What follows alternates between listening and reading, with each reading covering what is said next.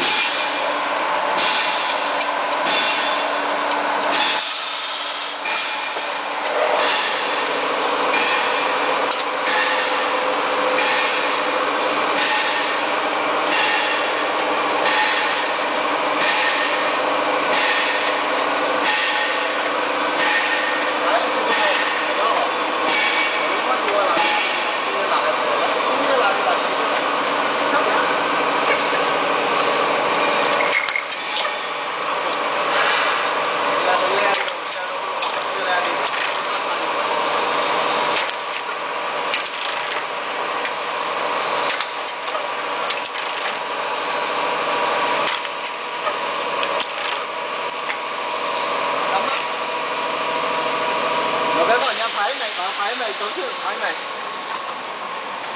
Giờ phân đi đâu?